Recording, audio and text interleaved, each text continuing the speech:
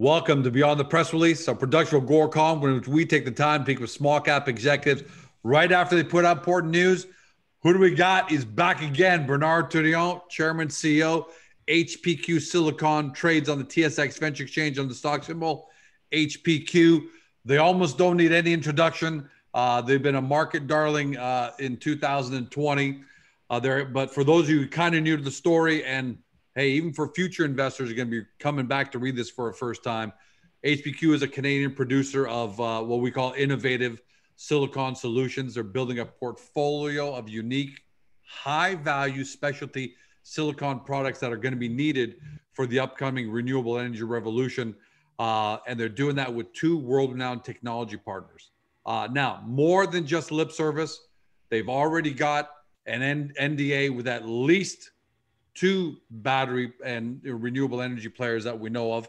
And uh, they received their first pre order for product uh, from a major auto manufacturer that's going to be delivered in December. So clearly, HPQ isn't just talking a big game to ride the renewable energy revolution, they're delivering. And today's announcement HPQ partner Apollon Solar delivers first batch of carbon coated nanosilicon powders to INRS for evaluation. That's a mouthful.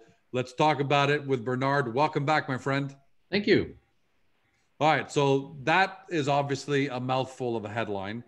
HPQ partner Apollon Solar delivers the first batch of carbon coated nano silicon powders for evaluation. Mm-hmm. Before mm-hmm. we go into the little details, that for everyone at home, mm-hmm. take us through in 45 seconds to a minute what's the general importance of carbon coated nano silicon powders? Okay.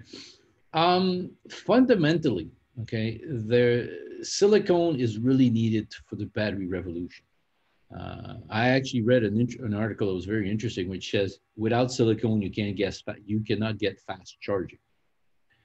The issue is there is some there is some problems with you know how the silicone reacts to lithium and what it goes through. One of the solutions that uh, many scientists believe will be um, is carbon coating silicon. Some people are talking and coating it in graphite and all those type of materials. So there's a lot of discussion about this. So as I, you know, so that's really an important way to allow silicon to reach its full potential in the battery space. Okay? It's not the only one, but it, it is one. So it's something very interesting for us to look at. Second, uh, what's HPQ's competitive advantage uh, with its carbon coated nanosilicon powders? Well, in a previous press release, we issued that the nano reactor that we're developing with Pyro, okay, would have a, a carbon encoding capacity in one step during the same step we're doing production. Right now, the processes uh, follow a bit what we're doing right now with Apollon, which is you have the material, then it goes through a different operational process where the where the encoding is done, so you get the material coated. So it's an extra piece of equipment, capex, and everything else. Our advan- our cost advantage is going to be being able to do in one step.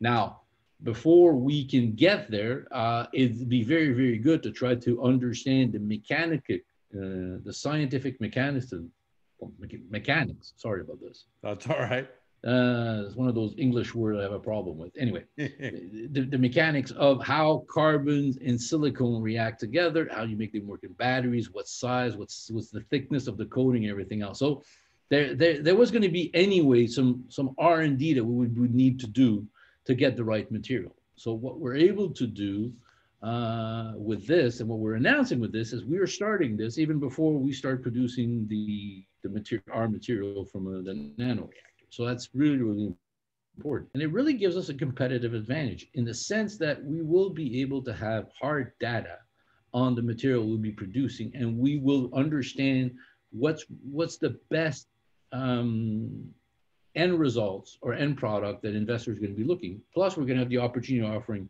so because some battery manufacturers are going to say we have our own in-house encoding process, and someone that says, oh, we like the, this idea. So it's all part of uh, our strategy to have a wide, you know, product range to offer. But we want to be the silicone providers to battery manufacturers. So, you know, you can't offer just one type. So we have to have that uh, that ability. I saw the term R and D consortium. that's the first time I've seen you, um, you know, uh, define it that way or name it that way. Mm-hmm. So, what's the R and D consortium? Well, fundamentally, it is Apollon Solar, INRS. Uh, we issued a press release uh, last year which said we are working with Professor Lionel Roué, which is one of the top uh, uh, Canadian experts on silicon for batteries.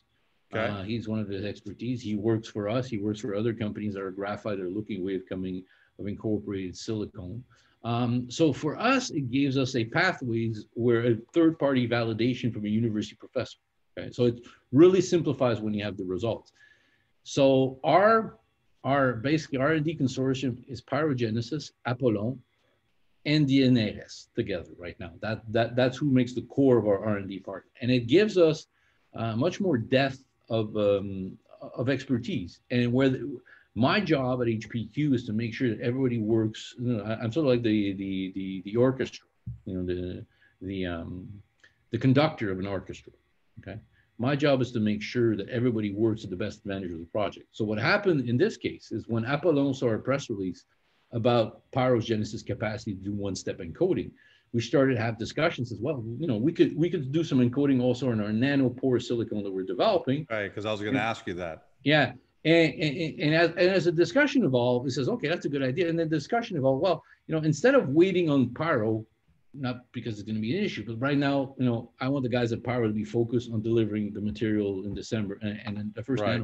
Right. Says why well, that why Apollon Solar is doing this? Because when I saw that, I said, okay, hold on.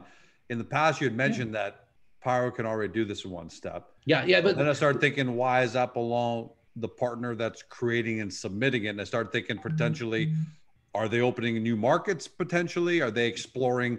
Additional opportunities? I wasn't sure as to you know what. No, it's it's all it's all related to our work together. You know, Apollon works for us, and we we work with Pyrogenesis, but it's my job to make sure that everybody can work. Okay. It's it's my job to get the most out of everybody, so so I, I can end up the the the the I, we can get the project advanced in an intelligent fashion. So oh, that's great.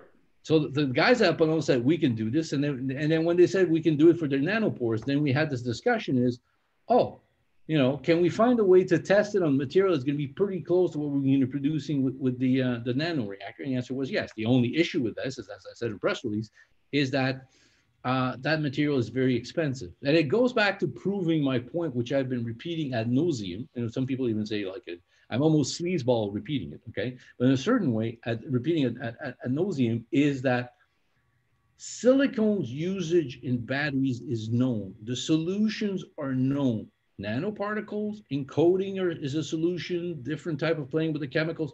All the solution is known. The problem is the cost of making the material. Okay. Battery manufacturing. I was listening to an, another presentation. It was very interesting about another, you know, you know, another company work, working the project, not, not for the same thing. They basically said battery manufacturers don't want to pay a penny more than what they're paying right now for graphite. Okay. Right but they want to get the extra kick and they want silicone in their batteries. That is the that is the problem of the industry. Okay, it is not will silicone work. It's can you make the damn stuff cheap enough to you know to to to build the billion batteries that are going to be needed. Truth well, and you have the capex and opex advantages already, right? Well, we have the CapEx and OpEx advantage because we're looking at simple one-step processes. Okay, that's already very simple. Somehow, when you, other, other companies seem to have a tendency of having multiple complex processes. Okay, there, there's some of them says, oh, we're going to be recycling solar panels. Well, if you understand what solar panels are, is yes, it's very high purity silicone, but once you get them, it's going to be full of junk. So you're going to have the hard work to, to get them into. What we're doing is very, very simple, okay? We can take quartz, which is a low value, natural, uh, uh, very, very um, material is very present in, in nature, okay? Convert it into silicone, be the cheapest guy to convert to silicone. And then we can take that silicone and turn it into nanoparticles that the battery manufacturers work. So for us, it was just a, an opportunity to use the skill that everybody has. So when, when we started to mention that we were looking at doing carbon encoding, Apollon said, we can start to do them right now for you. Would this be helpful? And I said, yes. So they started producing, and then they're, they're going to produce more material. So we end, we'll end up having tested a lot of material even before we get the material from uh, from from uh, from Par. So you're going through all this, and then you drop this nugget in your quote. We are very confident that demand for the silicon materials we will produce with our low cost scalable process mm-hmm. uh, will be high by batteries and EV electric vehicle EV manufacturers in this renewable energy revolution. I mean, you don't say anything that without well having a reason. Uh, I'm, why I'm sort of saying, why are you so confident?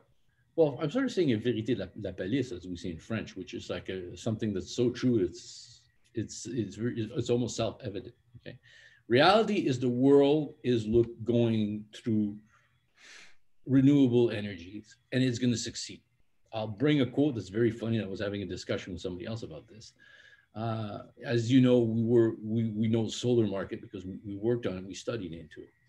And Bill Gates said not long ago, he says, you know, people should stop investing in trying to make a better solar panel. There's enough capacity of solar. The, the system is, the problem is energy storage. That's that's that is the problem and is the solution for renewable energy. Sure. And then he went on to say something which I did not know. When solar industry started and when there was tons of naysayers into it, okay, about it's never going to be that big, it's never going to be able to replace petroleum, it's never going to be able to do this, okay. Um, there was a study made by a different group about what could be the, the performance, the capacities of batteries and everything else, and what's going to be the, the worldwide demand. And there was one, one that was done by Greenpeace, not the most by business who? Green, um, yeah, Green uh, Greenpeace. Uh, the, oh, Greenpeace. Okay, sorry. Yeah, yeah, yeah, Greenpeace. And they came up with a number which everybody thought was crazy, never going to reach there. When in hindsight, that number was conservative. At one point, the ball becomes rolling so fast, so big, it's going to be going there. How do I know this? A, I, I noticed this by the emails I'm getting. Okay, we haven't yet finished our HPQ Nano website, which is going to be sort of like transactional, where people we're going to start to be able to describe the material we do and everything else. And I'm starting to get email from people. Okay, uh, for applications that are that even extend the battery space.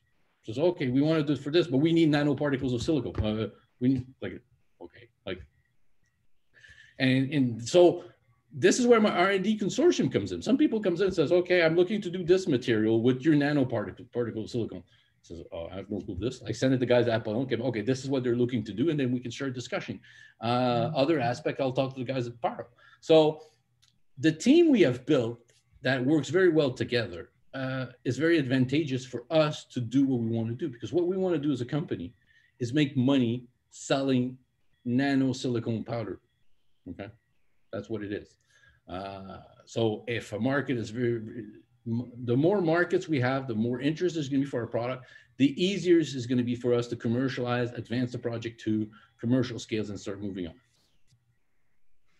I love the fact that you're getting email already, and you don't even have the HPQ nanosilicon website up yet. Yeah. So this is strictly people reading press releases, word of mouth.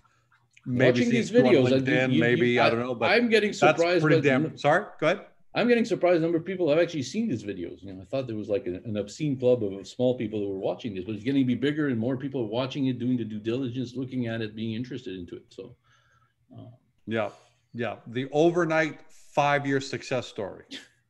Well, how do I know I'm successful is when I'm sort of laughing when I'm seeing new companies starting up, which are sort of repeating my business model of five years ago. I said, okay, I'm in the right spot.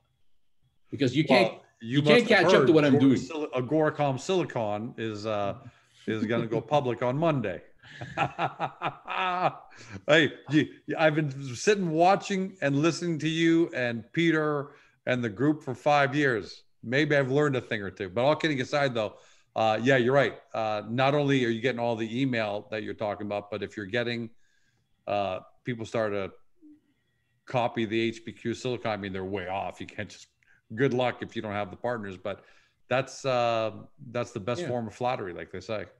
And you know, we haven't yet started to talk with Apollon about the hydrogen capacity. That's gonna that's gonna be the fast. That's gonna be the fun, the fastest thing, because the moment we start producing one sample of nanopowders of, of silicone, I'm shipping it back to France because you know, I know how long it takes to get battery information back, but hydrogen is going to be almost instantaneous. Well, instantaneous, you know. Sorry, I shouldn't say that word. It's going to be what, what was the word that Peter used? Imminent. Imminent. Yep. Yep. Uh, just you know, just when we thought we were wrapping up the now, we won't go down the hydrogen. Uh, no, no. The, the but. I want people to realize the, the, the strength the strength of what we've been build, building over five years. Okay, it's we've built a very strong foundation. Yeah, impressive. where we're going, and I think it's you know I think 2021 is going to be uh, very very exciting. 2020 was not bad. Well, there's so many issues that were bad, but for us operationally it was good. That was fantastic. And you're saying that almost like we're not going to see it to 2021, but I'm pretty sure we're going to see you uh, a couple times More? in between in, in, December, given the fact that you know the uh, the reactor is, is scheduled. Yeah, well, no, no. Let, us make, make it very, very clear. You're going to see me in December because the reactor is starting in December. So you know, beautiful. I love that. That's what that, that's great confidence. Fantastic, Bernard, man. Thanks for thanks for coming on as always it's you're gracious because you take the time. Look, this is a very complicated, even just as headline alone, right? As 10 different implications. And if you weren't doing these kind of things, I would shudder to think. I don't know how many videos we've done together, but if you weren't doing these kind of videos, I would shudder to think what the level of knowledge would be among shareholders. I wouldn't blame them, including me, right? But the fact that you do these beyond the press releases to really have these kind of conversations. I hopefully I do a good job asking the questions that investors are thinking of. And by the way, I missed the time when we're in the garage. We're yeah, the the Agora the Agora garage. You remember that the Agora yep. garage and we we come look. We got lights now, right? We got lights.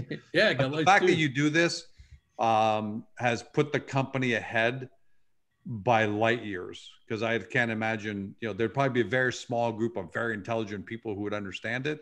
And the rest of us, including me, would probably say, I'm not sure what this is. So uh, even today, very helpful. Really appreciative, my man. Uh, thanks for joining us. Thank you. You've been watching or you've been listening by your favorite podcast on Spotify, Google, Apple, etc.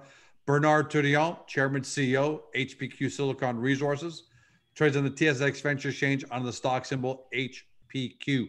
For those of you who are new to the story, and hopefully it's going to be a lot of you for good reason, not because you, not because no one's ever heard of it, but more and more people. Uh, we see the numbers, we see the views and everything climbing, so that's great, and we thank all of you for giving your attention to HPQ and tuning in. But if you need to do more due diligence, you know, there it is. The URL is right above Bernard's head, hpqsilicon.com. Get there. The second thing I would suggest is if you haven't watched or listened, that's a great thing. You can listen to these while you're driving, while you're walking. You don't have to sit here and stare at Bernard and my face if, if you don't want to do that. Uh, play catch up on on the interviews we've done, and uh, hopefully that's going to lead to a couple of questions, which ends you up at the HPQ verified forum on Agoracom, which means you post the questions, it's all civil there, and you know that's Bernard and or his team that are going to be answering, and uh, and then hopefully you discover your next great small cap company. Thanks for joining us, everyone. Have a fantastic day. See you next time.